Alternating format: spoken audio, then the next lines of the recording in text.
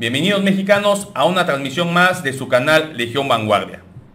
Comenzamos hoy donde sale Dante Delgado, el coordinador de Movimiento Ciudadano, entregando chayote a Broso el Baboso en su programa Latinos. Antes de ir con el intro, si les gusta el video, apóyeme con un like, compártanlo y activen la campanita para poder llegar a más legionarios.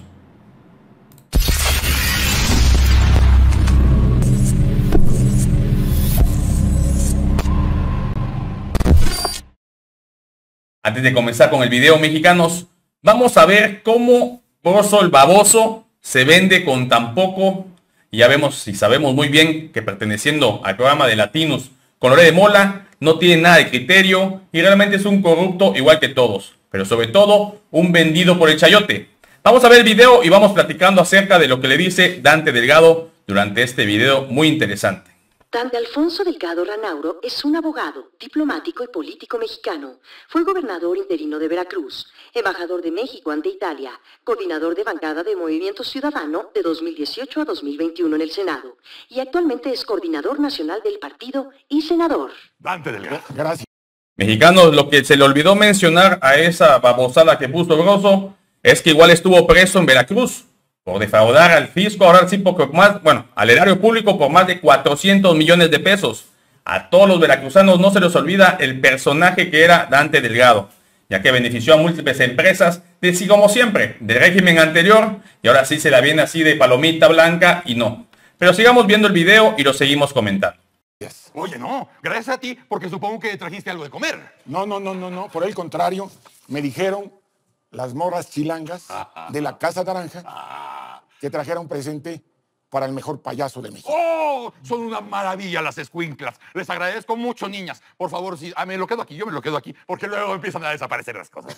Pero por favor, Dante, qué bueno que estás acá. Y lo, dije al principio y parafrasé a, a, Héctor Bonilla, a quien le mando un abrazo muy cariñoso, de que eres una cobija muy miada. Miren, mexicanos, ¿cómo fue el comportamiento de Broso el baboso cuando Dante Delgado, pensando como siempre, pensando mal y atinaras, le está dando su chayote a Broso en vivo en su mismo programa para que siga hablando bien de Movimiento Ciudadano y que le dé lugar y pie a hablar a Dante Delgado. Pero sigamos con el video. Yo veo que lo estás haciendo a partir de tu pragmatismo, como una agencia de talentos, no como un partido. Tú dices, ah, mira qué personaje tan singular, que esto, que el otro, y apoyas gente. No tienes cuadros, ¿o sí? Bueno, lo importante es entender que Movimiento Ciudadano es un ejercicio de puertas abiertas para ciudadanas y ciudadanos. Porque hoy, actores de la vida regional y nacional que no tienen participación en las fuerzas tradicionales, tienen oportunidad de participar sin afiliación ni militancia, pero sí con un proyecto a favor de México. Porque hemos visto a los partidos... ¿Qué habla Dante Delgado? Cuando realmente lo que es Movimiento Ciudadano agarra todo lo que se mueve principalmente su coordinador que ha sido un chapulinero y que ha pasado entre partidos a otros. Dice que no da más una captación de talento, más que un partido político que busca trabajar por la ciudadanía, realmente lo que busca son ciertas, ciertas ahora sí que personajes fugaces, los cuales llaman la atención y que sabemos muy bien que los únicos personajes que mantiene Movimiento Ciudadano son manejados totalmente por Dante Delgado.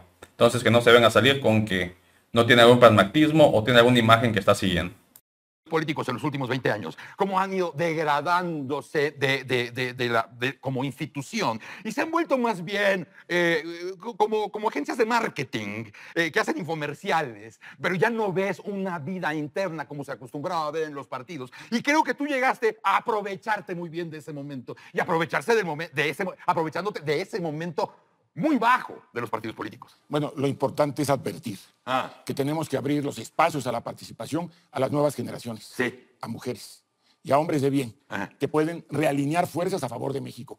Porque la perversidad, y aquí sí lo quiero subrayar, está en quien piensa que la política tiene que ser unipersonal. Ahí sí está la perversidad. En función de un proyecto que está confrontando al pasado pasado con quienes tienen los ojos puestos en el pasado es la nueva opción y esa es Movimiento Ciudadano. Y sí lo quiero decir con energía y con firmeza, dando oportunidades y abriendo las puertas a nuevos actores de la vida nacional. Estamos en un momento mexicano donde, como tú señalabas, eh, eh, Andrés Manuel concretamente, eh, parece que se quedó en los 70 y, y, parece que quisiera manejar el país hasta ahora sin éxito de una manera unipersonal. O sea, no puedes reclamarle nada a un secretario de nada porque sabes que el secretario no decide nada, el secretario no planteó nada, el secretario no vislumbró nada, recibe una orden directa y ejecuta. Tú estás, a diferencia de Andrés en este momento, tú parece que estás viendo hacia el futuro, pero el futuro ¿Dónde, dónde, ¿Dónde acaba Dante? ¿En 2024? ¿O estás pensando en 2030? 2030 a lo mejor sería demasiado tarde. Hay que pensar en el futuro de 2050, pero tenemos que actuar de inmediato. Y esa es la gran diferencia.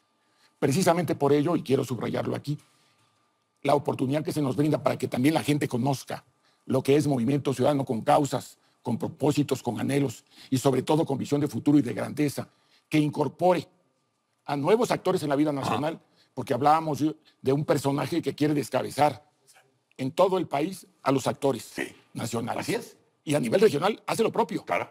Y además les brinda un manto de impunidad a colaboradores y funcionarios incapaces e incompetentes.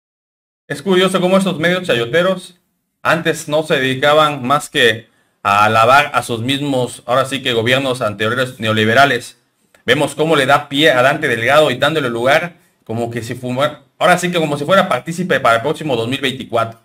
Vemos cómo de la misma, que seguro son preguntas ya planeadas obviamente, Dante Delgado tiene las respuestas de acuerdo a lo que quiere, lo que quiere hacer. Hacerse notar al Movimiento Ciudadano como una posible, una posible oposición contra el partido de Morena. Pero veamos más acerca del video para ver qué siguen diciendo estos chayoteros. En primer lugar, porque las fuerzas tradicionales ya le fallaron a México. y las consecuencias las tuvieron que pagar. Y las pagaron de manera muy dramática, porque obtuvieron los resultados más bajos en la historia electoral, esas fuerzas tradicionales, que si les queremos poner nombre y apellido, son Partido Revolucionario Institucional y Partido Acción Nacional. Y por otra parte, quienes imaginan que sumando a quienes antes eran antagonistas, es como vas a convencer a la ciudadanía que hay que frenar la distorsión en la que se encuentra en este momento el país, desde mi punto de vista y de mis compañeros del Movimiento Ciudadano, es un grave error. Hoy lo que la sociedad nacional desea es la opción, y la opción es la ciudadanía.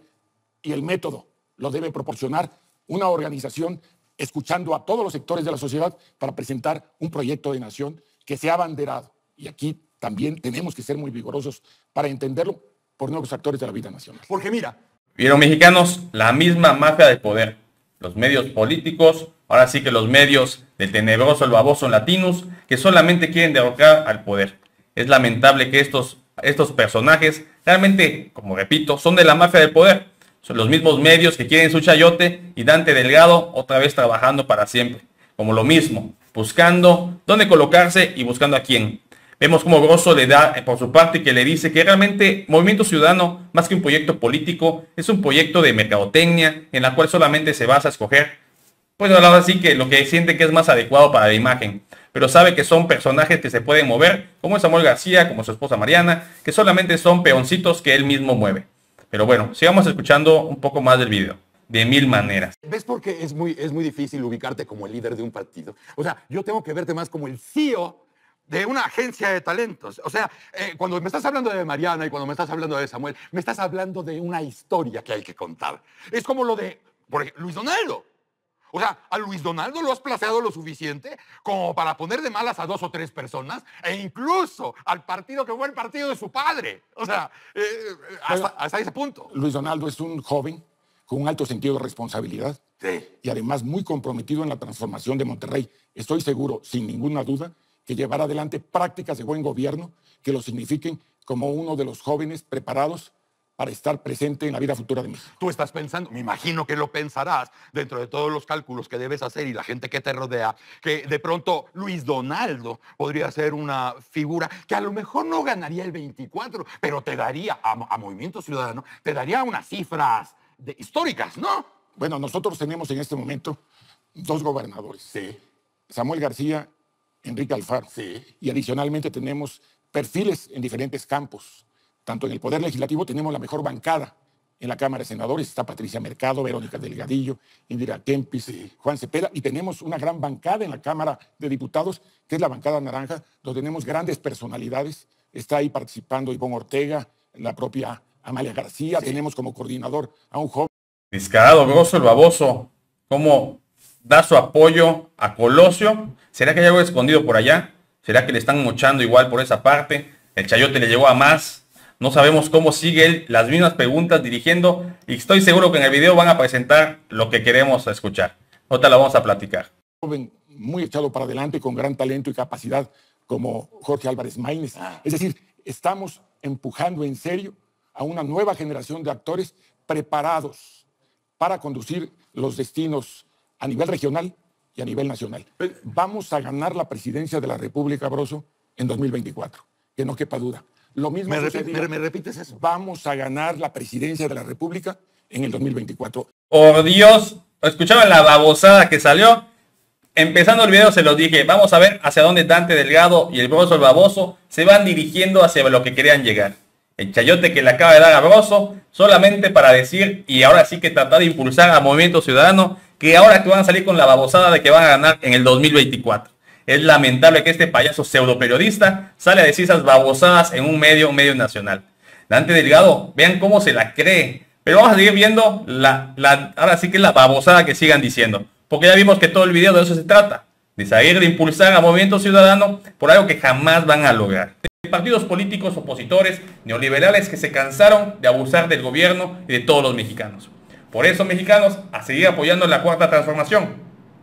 Y bueno, hasta aquí llegó el video. Espero que les haya gustado porque al menos fue mucha risa por una parte. Ahora sí que estuvo de carcajadas por dentro porque ahora sí que tantas babosadas en un solo video, no en cualquier lado.